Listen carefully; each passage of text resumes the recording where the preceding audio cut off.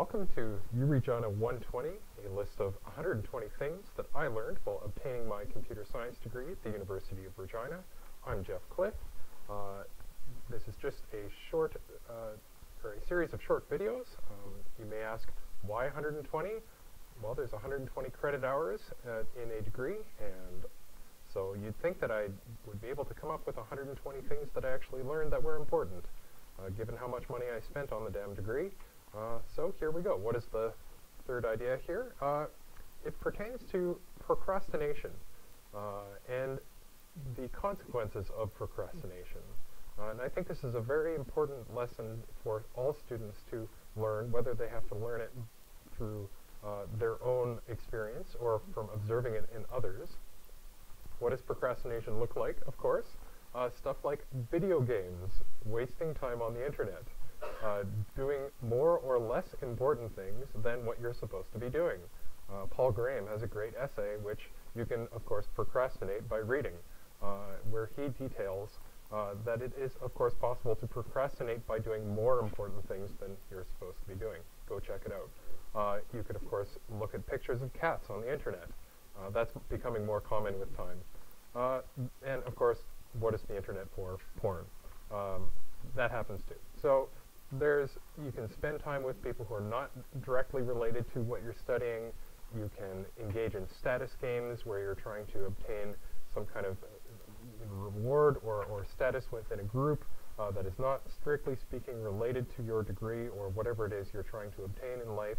Uh, anything that goes into the rubric of what you're or not what you're supposed to be doing. Uh, this is of course a pretty broad thing, uh, but it happens, and you can look for it when it happens, and you should look for it when it happens in your life, because uh, the consequence is um, you will suffer if you procrastinate, and the suffering is related to your procrastination, and if you pay attention to when you're suffering as part of your degree, and when you're stressed out, uh, and when the deadlines come and you're not ready, look back to see if you have, in fact, procrastinated during the time that was allocated towards whatever it was that you were supposed to do. Uh, you can budget your time, uh, but if you do budget your time, uh, take note that you may end up procrastinating instead of actually doing what you had intended as part of your time budget. You may want to measure the amount of procrastination that you engage in. However, be wary that measuring procrastination may end up being a means of procrastinating so you want to be careful when doing that. It really sucks when you end up procrastinating when you really shouldn't be. I've seen people cry. I've seen people break down and have uh, panic attacks. And these are some really, really smart people. People who you would think would be smart enough to know the consequences of their procrastination is leading them to their current emotional state.